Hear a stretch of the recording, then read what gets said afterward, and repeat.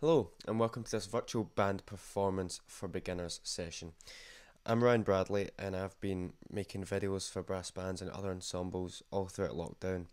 Um, it's pretty much all I've been doing since last March, so almost a year now. And I'm just going to give you some tips and tricks on how to get started for this.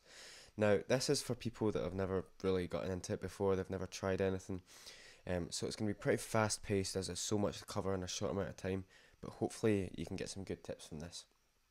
So, first of all, you'll need some software. So I've written down some free ones and some paid ones. Um, the free ones are all on the left, and the paid ones are on the right. So you've got, in terms of free DAWs, which stands for Digital Audio Workstation, this is what you'll need to edit the audio for your performances. You've got Reaper, which is amazing, although it's a 60 day free trial, I will say, and then it's very inexpensive from your 61st day of using it. Um, you've got GarageBand on Mac, which is great, that's free. Pro Tools First is really good as well, Mac and Windows. Cubase Lite Edition, good as well on Windows and Mac. Um, paid wise, you've got Pro Tools, um, you've got Logic Pro, which is my personal choice. You've got Cubase, PreSonus Studio One, loads, pl- plenty of different options. Um, in terms of free video editing software, probably the best one about is DaVinci Resolve. It's just incredible that it's free. I can't believe it's free still after using it for a while. And uh, iMovie is good, but I probably wouldn't recommend it if you're dealing with a large amount of people. It's just going to be very difficult to get everyone on the screen, and I actually don't think you can do many more than two or three people at the sa- at the same time. But still usable if it's all you've got. Paid wise, you've got Adobe Premiere Pro, which is a sort of industry standard. Great, great software. Got Final Cut Pro, which I personally prefer. I love it. I've been using it for years. Um, and now down the bottom, I've got some optional software to create grids. So if you look at some of my videos, um, I've got these grid lines in between the players, and just to create these grids, you could either use something like PowerPoint, which I'm sure everyone has, or you could um, go a step further and get Adobe Illustrator, which is great as well. Now, a lot of people don't cover this when they talk about this, and it is choosing the right piece of music. Um, so make sure if you're just starting out, start with a piece that's got a steady tempo and no. It's just going to make everything a whole lot easier for you when you're editing. Pauses and tempo changes can be difficult for players to play reliably when they're not playing in the same room, and it can make the editing process harder. So, ways to create a guide track. What a guide track is, is a track that everyone plays along to listening on headphones, and this ensures that everyone plays along to the exact same timing.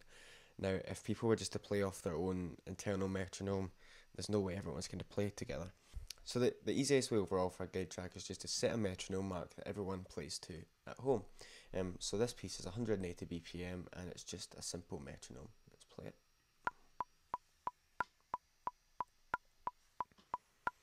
So you get the gist of that, just a metronome, and tell everyone to come in after two bars. For this piece of music, it's a pretty moderate tempo, so two bars is fine. If it's a slow piece of music, maybe one bar is okay.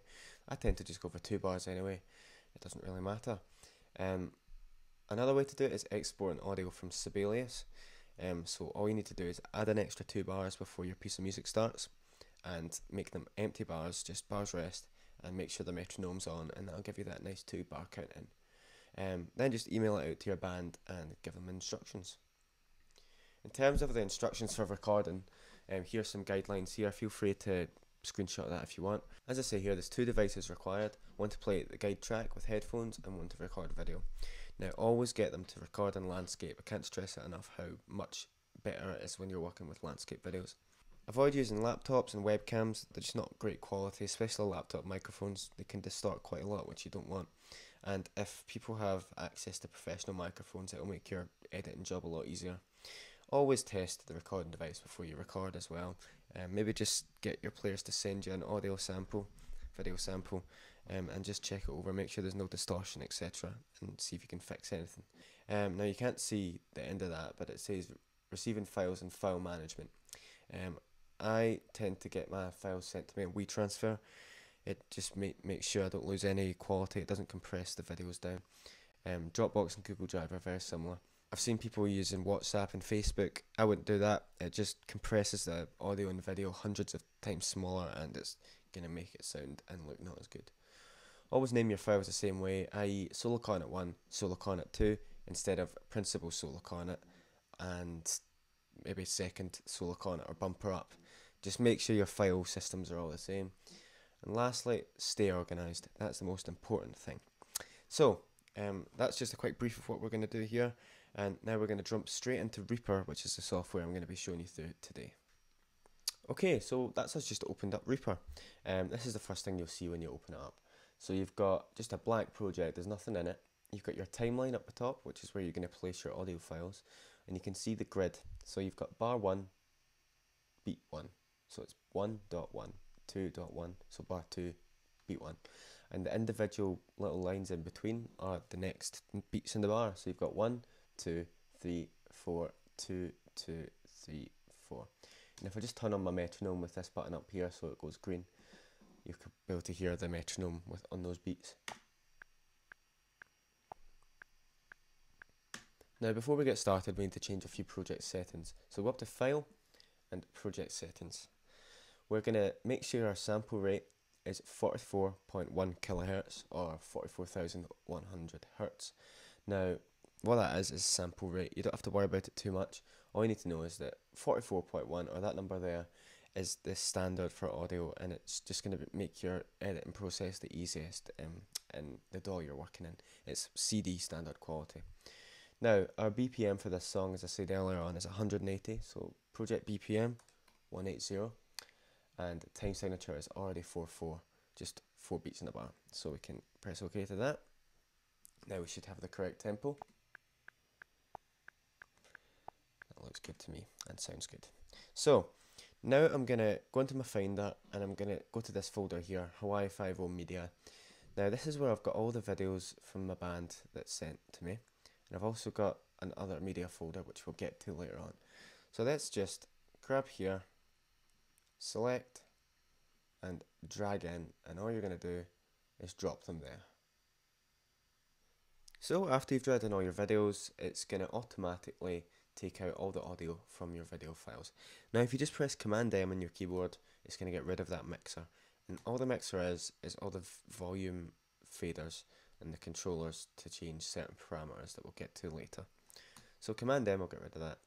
And it's quite hard to take everything in right now because it's there's so many audio files. So if you use this minus arrow down in the bottom right, you can just zoom everything out till you can see every single instrument. Now if I was to play this right now, it's going to sound pretty awful because nothing's lined up and it's all too loud. So let's take a listen.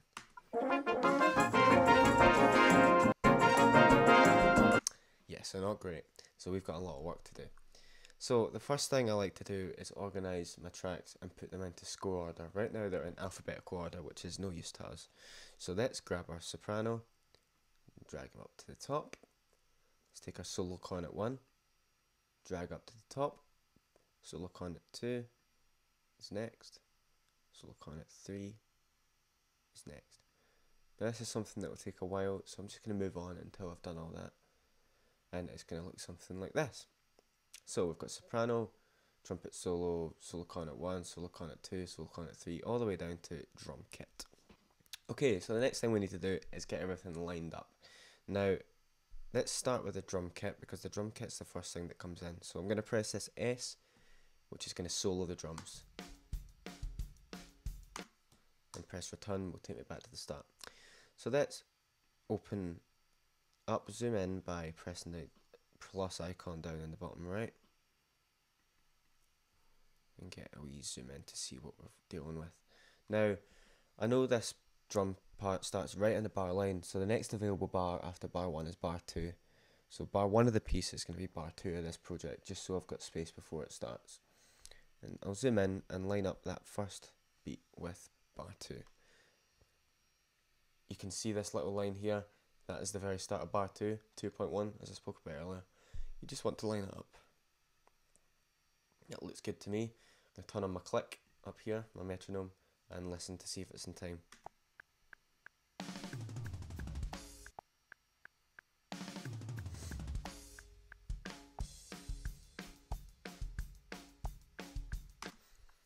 That sounds good to me. So next instruments that come in are the cornets, so I can scroll right back up to the top. And I'm just going to keep my drum kit soloed, so I'll press solo the drum kit and keep my click on for now and solo the soprano. So I know that he comes in on I think it's the third beat of second beat of bar three. Yeah. That's right.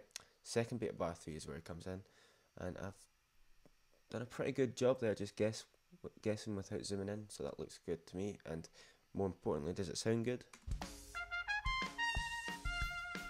It sounds in time to me.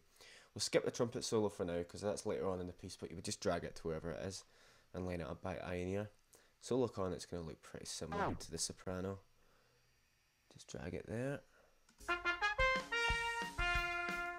Good. I'll just do one more before moving on to save some time.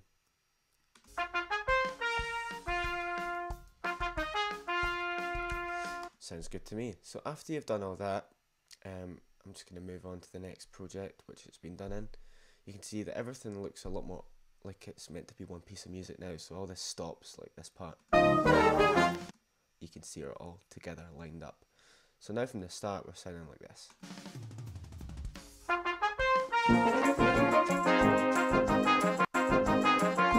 So sounding good, um, more lined, but it's still not sounding great.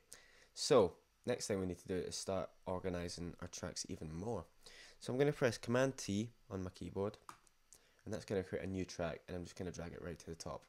I'm going to call this Cornets, or abbreviated like that. Now, what this is going to be is a bus. In audio world, the bus is a pipeline of audio that you can route anything to. So you can route any of these audio tracks into another audio track to create summon mixes of different instruments. And in a brass band's case, I want to do that because I want to be able to treat my sections differently. So I'm going to press the soprano, my last cornet, which is third cornet 3, I'm going to press shift, select all, and I'm going to drag up and put that in that folder and that has automatically set the output of these tracks to the input of that track. So when I solo just a cornet track, all I can hear is cornets.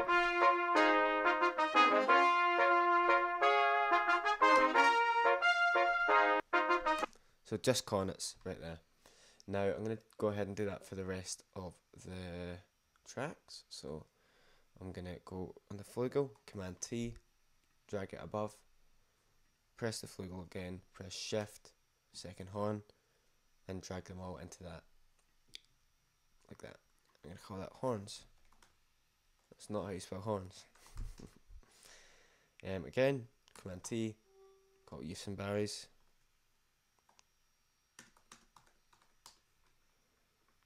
Make sure it's above them. Press first barry, press second euph with shift, drag up, and it's part of this folder that we can just solo.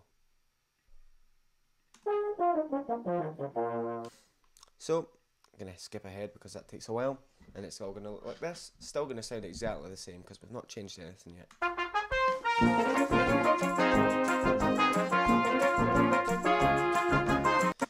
Now the next stage is gain staging. What gain staging is, is making sure that you're not too loud at any point in the signal chain. So if at any point you're going to distort, it's not going to sound good. This is when we're going to open up our mixer, Command M. Now, if you just have a look at all these red bits, this means we're distorted. We really don't want that. So I'm going to select the cornets, just that channel there, scroll all the way to the end, press shift on the drum kit, and bring all my volume faders down, and just see how that sounds and looks. It's a lot quieter, obviously. I'm going to turn it up on your end so you can hear more of it.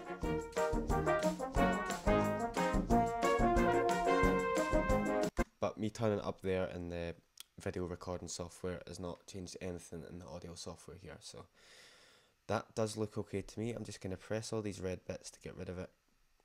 And this will make sure that I can see if they go red again to see if they're clipping or distorting. Let's see.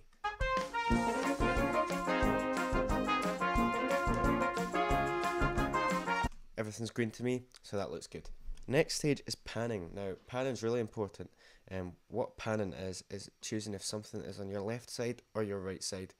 Um, so obviously in a brass band, if you're the conductor, the soprano's on your left and the solo trombone's on your right. So I'm just going to pretend I'm the conductor and I want this little wheel to point towards where I think the player would be. So the soprano is going to be pretty far around to the left trumpet solo for this piece of music I want bang in the middle, just because the trumpet soloist would come out to the middle of the stage. Solo cornet 1 is pretty close to where the soprano would be, and so look on it too isn't as quite as close as that. We're getting a bit more, more centered as we go through the cornets. Now back to the back row. The rep's not going as far as the soprano, but almost as far. Second cornets to third cornets, we start straightening out and getting closer to the middle. So you can see as I get closer, this one is pretty close to the middle because the third cornet is kind of off in that direction instead of all the way round to the left. So again, I'm just going to go through everything and point the pan wheel to where I think it would be if I was the conductor. So after you've got everything panned to where you want it, um, you're going to want to create a rough balance. So let's solo just the cornets.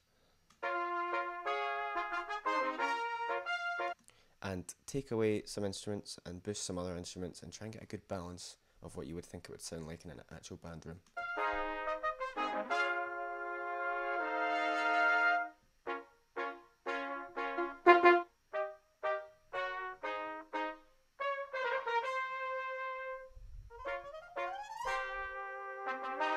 So this is subjective and uh, it just takes a while to go through and get the balance right. So let's skip ahead until where we're all balanced.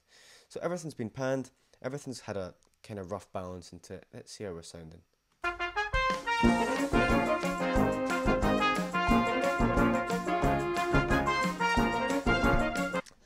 So that's sounding good. Uh, just got a few more things I would want to do to this before it's ready.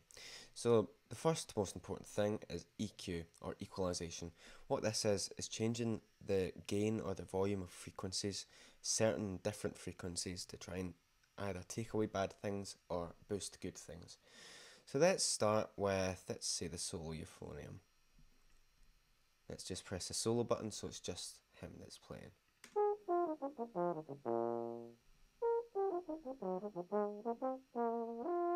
So it's a good sound. It's a bit dark, I think, and it could do with a bit, just a bit more air on top of it, and maybe clean up some of the low end. So if you go to the effects here, if you hover your mouse, it says effects. Just press, and let's get the built-in Reaper EQ, which is called REA EQ. There it is. Add. Now, the, up here are higher frequencies, down here are lower frequencies. You don't need to know too much about it, but if you kind of get an idea of what you're going to do to it, you want to use your ear and just be creative and get it the way you want it to sound.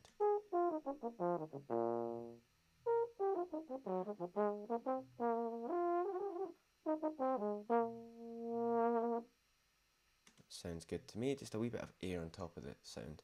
Now it's a bit muddy in the low end, so I'm going to cut some low end out to maybe make some space for the tubas and um, trombones to come through.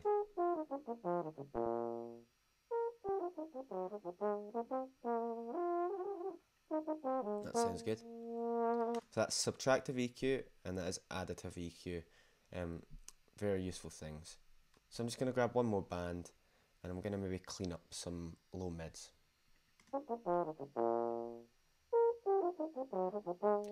It's a bit honky there, I don't really like that frequency, so I'm just going to pull it out and I'm going to make the bandwidth not as big. So that's high bandwidth, which means it's affecting a lot of frequencies around that point, and lower bandwidth is just affecting that frequency on its own.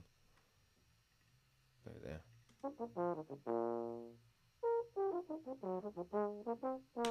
So that's cleaned it right up for me, I think that's worked.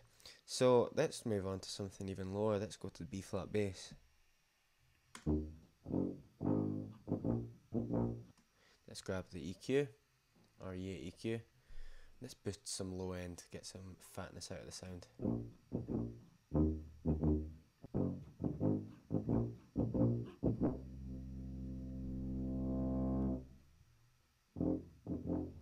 That sounds good to me. And also on basses, I like to boost a wee bit of high end, high mids to try and get them to bite through.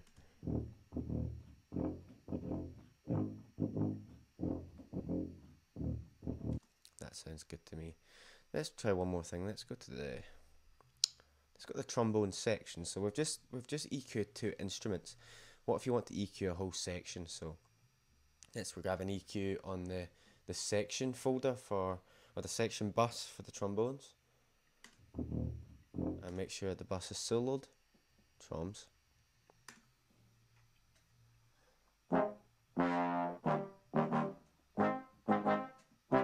So let's brighten them up.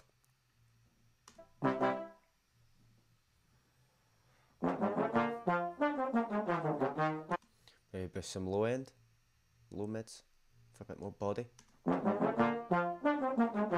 And cut some really low end just because we don't want it getting in the way of the basses.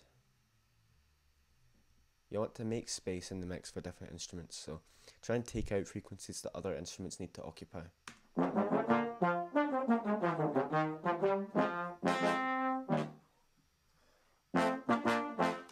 That sounds a lot cleaner to me. So I'm going to go through and EQ everything and it's obviously it takes a while so let's skip on to where it's been done. So I've went through and I've added EQ to almost every track. Not every track because some tracks sounded good on their own and I didn't think they needed EQ. So it's just important to use your ears and be creative. So now we're sounding a lot better.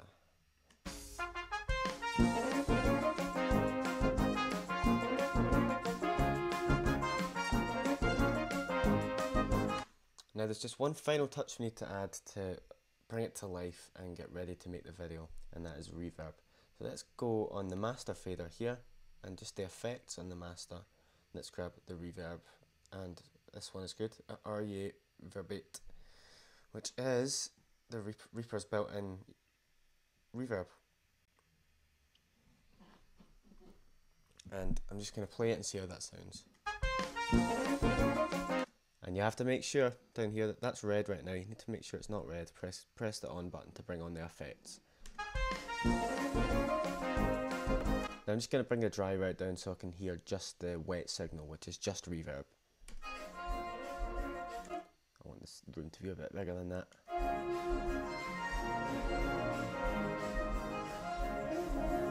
Now what a low pass does is you would think it's got something to do with the low end, but it actually cuts out the high end because it's letting the lows pass through. Is that's going to darken the sound, and I don't like really bright reverb, so let's darken that reverb.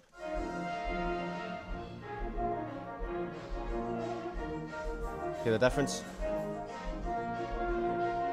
Sounds good to me. Now I'm going to bring down the wet, bring the dry back up to full volume, and blend in the wet until it sounds good to my ears.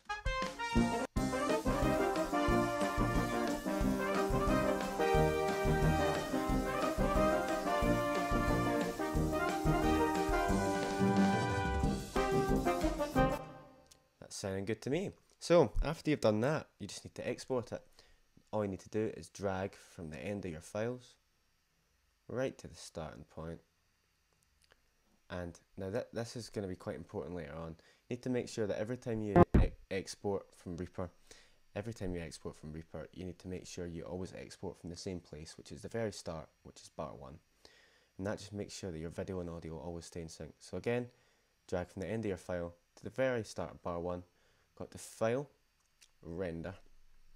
Now we've been working in 44.1 hertz, um, kilohertz, sorry, which is 44,100 hertz, um, which has been great for audio.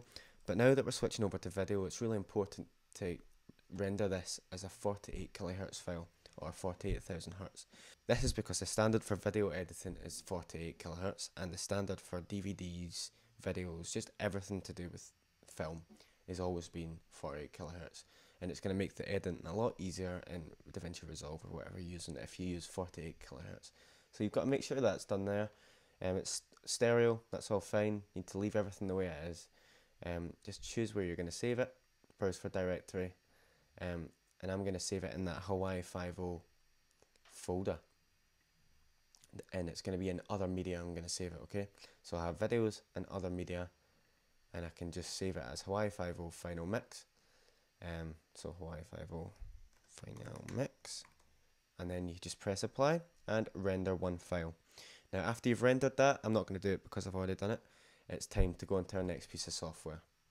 So the next piece of software we're going to use is, in my case, PowerPoint, or it could be Adobe Illustrator.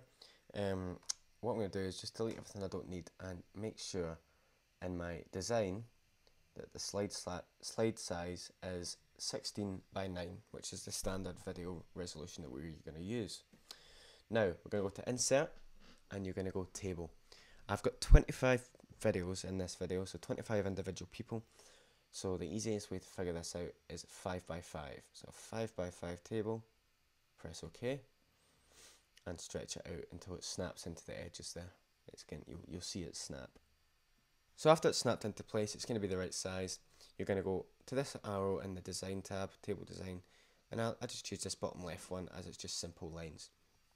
Now you could leave it like this as a guide, or you could actually fatten up those lines to make it more of a feature in your video, which I like to do. So I tend to go for four and a half point, and my pen colour can be anything. This is kind of what you're going to choose as your grid line colour. I'm going to go for black today, and you're just going to colour in the lines like so.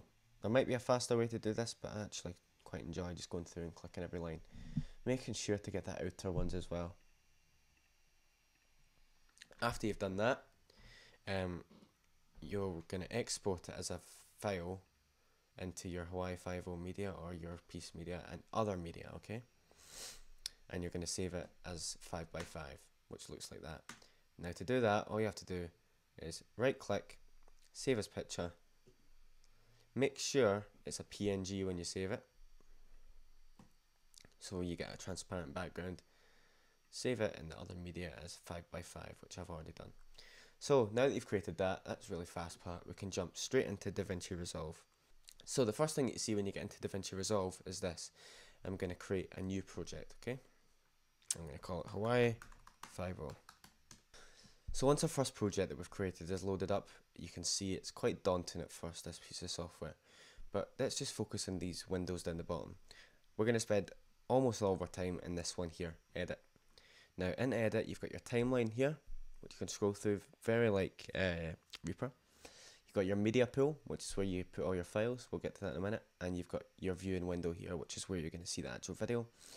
Up here, you've got your inspector, or you can change it to other things, but I have it on inspector, and it means you can change certain parameters to videos and audio.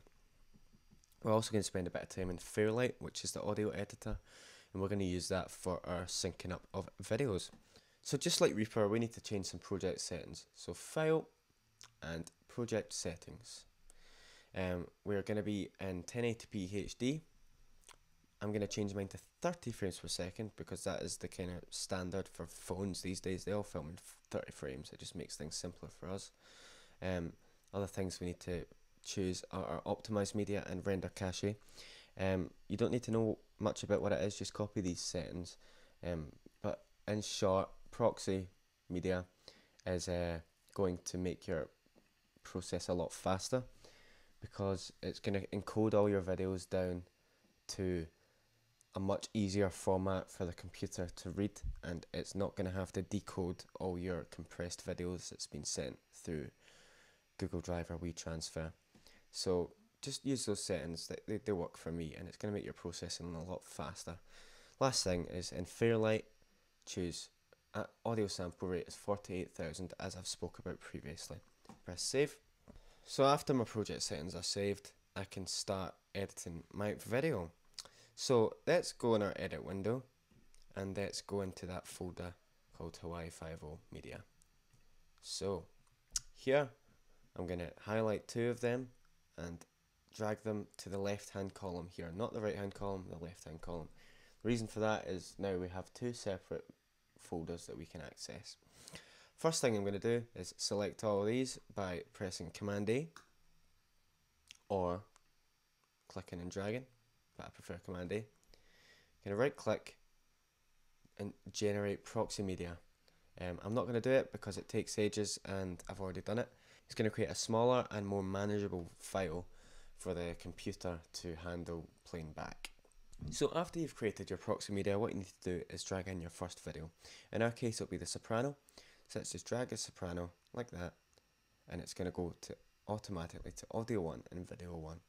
Now we're going to right click and go add tracks, and we're going to add another 25, just double click in 25 audio and video tracks, and I'll explain that soon.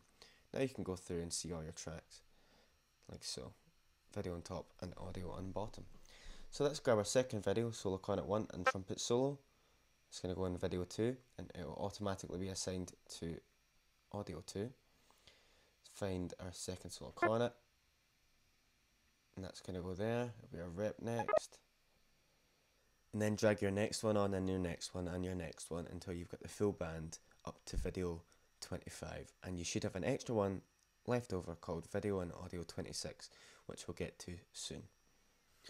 Okay, so after you've brought everything onto the timeline, you should now have 25 video and audio tracks filled and you should have one spare. Now what those spares are for are for audio track that we mixed in Reaper and there grids that we made in PowerPoint. So on video 26, let's go grab in the other media folder the 5x5 grid and just drag it into there, like so. Make sure it's on video 26, we don't need 27 video 26, that's us. Okay, zoom right out and grab the end of this to drag it to the very end. And now you can see it's created this grid over the whole thing. Now it's not quite lined up with the edges here, so I'm just gonna go up. You can't actually see that, um, which I can fix. So I'm gonna go up here and change the zoom to 0.01 and that has fixed it. That is the number that works for me, and that's filled the full frame.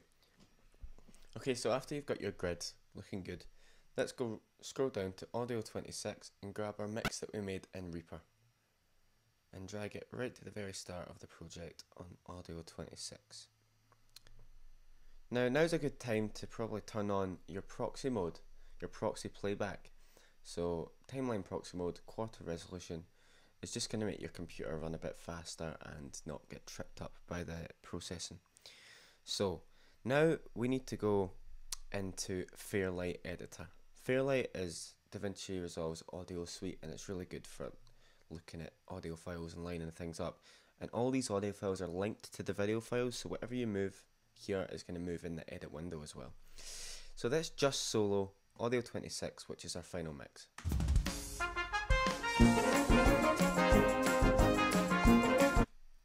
So we can confirm that that sounds good. Now let's go line up from score order, the soprano, and just go down. So you can move them, slide back and forth like this. You can grab a start and end points, just like that. And what I'm going to do is go find where he needs to play by soloing him. And I've soloed the soprano and audio 26. Let's see. So it's way before that. Let's zoom in a bit probably around here. And you just want to slide it until it sounds right.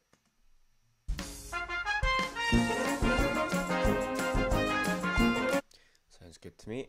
Audio 2, which is our cornet solo. And it's going to again look very similar to that, so you can see that they're kind of lining up.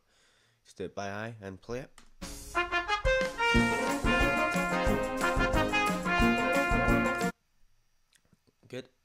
Do one more for demonstration purposes and we'll move on.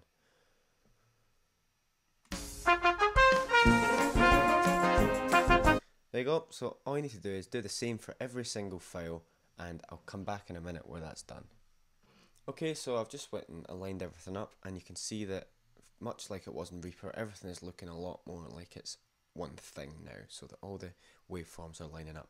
Let's go back to our edit window and you can see that everything has moved, so let's just Let's just view the audio down here. All the audio is moved, which has also moved our videos. Right, next thing to start doing is changing the size of our videos. So you're going to press the first one, which is soprano. You're going to scroll up, press shift, hold shift, and press drums, which is the very last one, making sure not to press the 5x5 grid. Now I'm going to have to change where I'm on screen again so we can see what I'm doing. So after you've selected all these, you should go up here to the video inspector and you need to go to the zoom and because we need five rows of five here, um, each video needs to be five times smaller. 1 divided by 5 is 0 0.2, which gives us our zoom. So 0 0.2 zooms all the videos out to the right size. So now you can scroll down to the very first one, deselect all by pressing over here somewhere, anywhere. Let's highlight the SOP or soprano and press the transform tool button here. Now you can zoom in a bit. Now would be a good time to turn the playback mode back to not, um, just to normal or off so you can see everything a bit higher resolution. You're going to drag this middle circle and the soprano will follow and you're just going to drag it until it's nice and lined up with our lines. That looks good to me. Go down, select the next one, solo cornet one. Drag up. And because we've got quite thick borders, you don't have to be terribly accurate doing this because the, the borders are going to cover up your ragged edges. Do one more for example because this thing does take a while. You're just going to go through and line everything up and I'm just doing it in score order as I've done everything. Okay, so I'm going to come back in a minute where everything has been done. So, after you've got everything lined up like that and everything aligned, you've now created your first scene. Now, I'm only going to create one scene in this video, um, but you could go on and create other scenes. But to save each scene, you need to create a new timeline. So, what you need to do is press Command N on your keyboard, and it's going to say New Timeline. There you go. And we're going to call it Master. And because this is going to be the very, the very final timeline of our project. Now each timeline could be a different scene. So I've created my timeline one there was uh, just a scene of 25 people. I could have timeline two as maybe a scene of four people on a different grid. It's all, all up to yourself and being creative. So on our master scene, we need to drag in our first scene, which is timeline one. And in this case, it's our only scene. So you've dragged in this timeline or scene. And what you're going to do first is unlink these audio and video clips because we need to replace the audio. So delete that audio. And remember when I said you always want to render out from Reaper from the certain point, from the very first bar every time? That's so that every time you create a new mix or if you've changed something, you can just drag it in under the timeline and it's already going to perfectly line up. So that's us got one scene in the timeline. Let's relink our clips so nothing moves.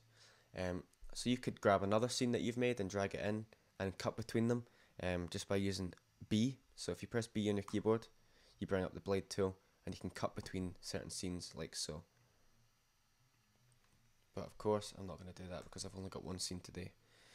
But what I am going to do is cut the the first part of the project off because I don't need the very start. Just a few minutes, a few seconds of silence. So do that and press delete. Then if you press A, you go back to your normal cursor, drag it back to the very start.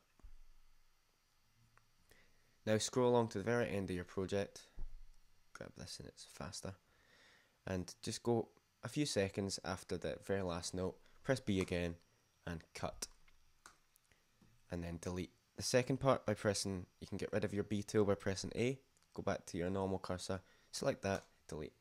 Now if we zoom out, everything we've done is now only on two, two tracks, two lines, and we're pretty much finished. So we need to now deliver or fin or render our project. So go down to the deliver window, and it will just take a second to load up. There we are, and I'm going to call it Hawaii Five O. And then you would browse where you want to save it, and I'm going to render this as a QuickTime movie in H.264 if you're on Windows, you might want to go for MP4, or even if you're on Mac, you go for MP4. But I just go for a QuickTime movie, as it works best for Mac, and I'll always stick with H.264. It's just the best codec to get your file size nice and small, but the, the quality is still really good. Then you go Add to Render Queue, and the very last thing we need to do today is press Render All, which I'm not going to do because it's already done.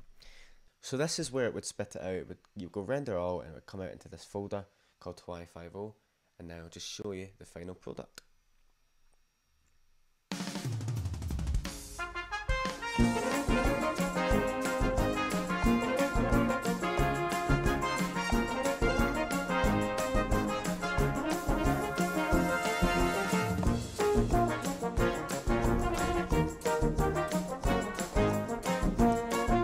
Now I'm not going to show you the full thing because it would take a while, but uh, hopefully that has been a good session and it can get you to grips with starting. It was a lot of information to take in, I know, but if you watch it through again, pause it where you need to pause it. Hopefully it was clear enough and you can be as creative as possible and make the best videos you can.